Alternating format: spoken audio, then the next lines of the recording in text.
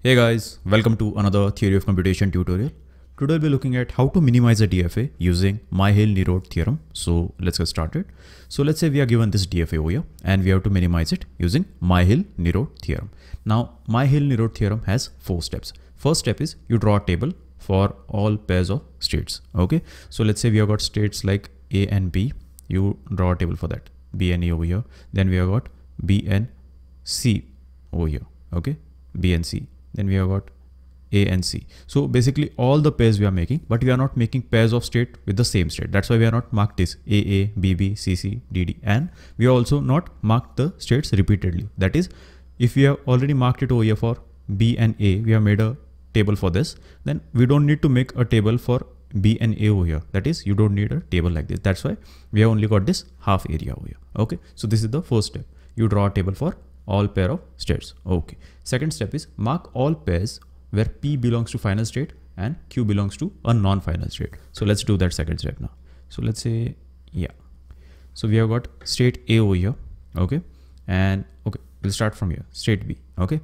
Now is state B and state A a pair where one is a final state and one is a non-final state? Yes.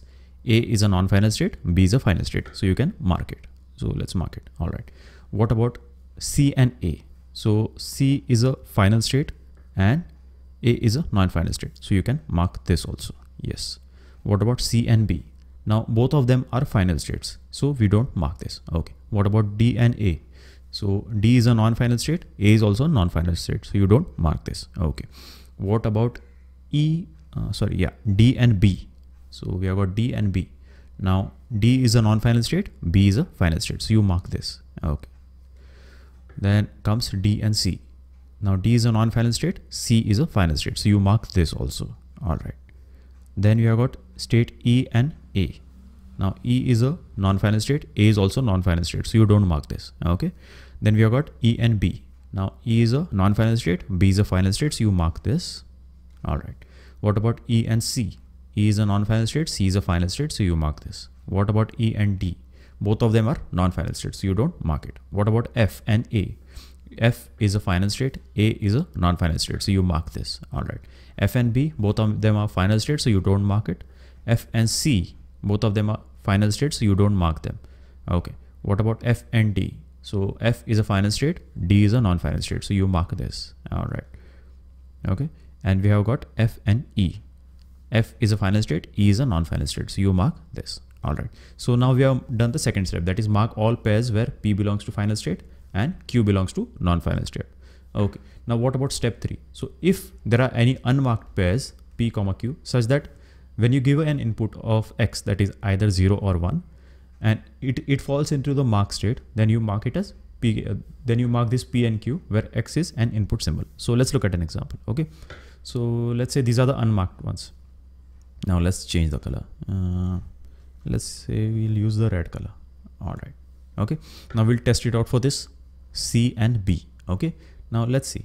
So we have got c and b over here and we'll test out the inputs 0 and 1 now when you give input 0 in state c where do you go?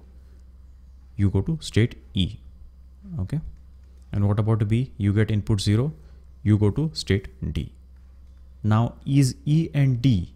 Okay is E and D a pair of final and non-final state? No, both of them are non-final states. You do not mark it. What about 1? So let's say you are in state C, you get input 1, you go to state D. And in state B, you get input 1, you go to state E. Okay. Now, are there the any uh, is one final and non-final state? No, both of them are non-final states. You don't mark this state over here. Okay. What about over here? State D and A. Now we'll test it out for D and A. D and A, you give input 0 and 1. Okay. So let's say in state D you get input 0, you go to F. In state A, you get input 0, you go to B. F and B, both of them are final state, so you don't mark it. What about 1? So in state D, you get input 1, you go to F. In state A, you get input 1, you go to B sorry you go to C. Both of them again are final states. So you don't mark this one also. All right. What about E and A? So let's say in state E and A you get input 0 where do you go? Okay. In state e you get input 0 you go to f. In state a you get input 0 you go to b. F and b both of them are final state so you don't mark it and in state e you get input 1 you go to f again. And in state a you get input 1 you go to state c. Both of them are final states you don't mark this also. Okay. What about e and d? So let's say you're in state e and d you get input 0 okay. What do you do? You are in state e you get input 0 you go to state f. In state d you get input 0 you go to state f okay. And same thing applies for 1 you go to state f only when you get input 1 so you don't mark it because both of them are going to the same state that is a final state okay.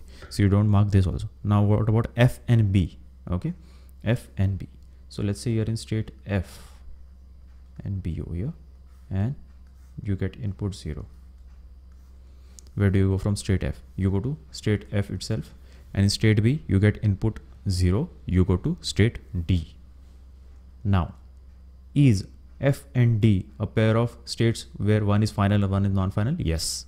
As you can see over here f is a final state and d is a non-final state. So you mark this state. Okay? You mark this state. Okay. Now next is you have to check for next one that is f and c over here correct? So it in state f and c. You get 0 in state f you get 0 you go to state f itself. Yes? And in state c you get input 0 you go to state e. Now is fe a pair of final and non-final states? Yes. F is a final state. E is a non-final state. Correct? We'll test it out for you on one also just to confirm. Okay? So you're in state f. Okay? You're in state f. You got you get input one. You go to state f and in state c you get input one you go to state d. Correct?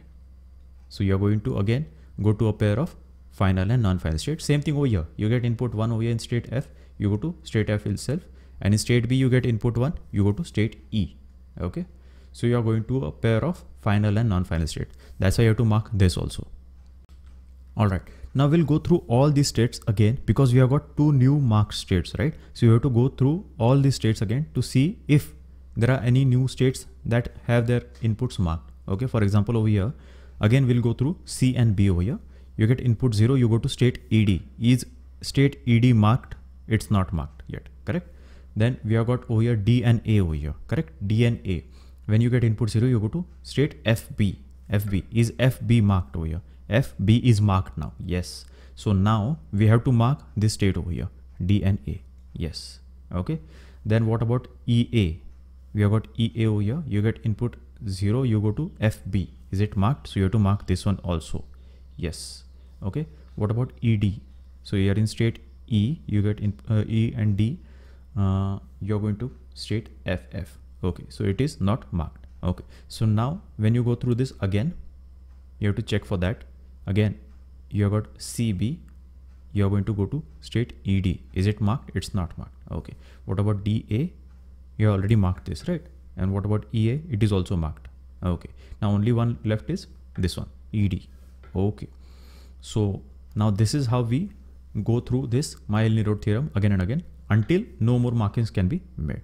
Now, finally, the step four is combine all unmarked pairs into a single state and then you have to construct the minimized DFA. All right, so the pairs of unmarked states are, we have got over here CB, that is C comma B, and another one is EF, sorry, ED. you have got E comma D. So these are the unmarked pairs. Now we have to combine them and minimize the DFA. Okay, so how do we do that? So we have to combine these two states over here, C and B into a single state and D and E into a single state. All right. Okay. Now, so let's try to draw it. Okay. So first we have got starting state A over here. Okay. So let's say this is our starting state A correct on getting input 0 and 1 it we have to combine b and c remember so on getting input 0 comma 1 you're going to go to a state that is final state and we'll call it bc okay on getting input either 0 or 1 it is going to state bc because we are combining it correct? Now over here or getting either input 0 or 1 it is going to state de we have to combine these two states into a single state okay? So on getting input 0 or 1 it is going to go to a non-final state and it's a combined state of these two states d and e okay? What about d and e? On getting input 0 and 1 it is going to a final state f okay? So on getting input 0 comma 1 it is going to go to final state f. Yes and in state f on getting input 0 and 1 it is going to itself. All right. So this is how we minimize a dfa that had 1 2 3 4 5 6 states into a dfa that has only 1 2 3 and 4 states. Okay. So this is how we minimize a dfa using Myhill-Nerode theorem. I hope you got this concept. If you have any queries feel free to ask me in the comment section below. Thank you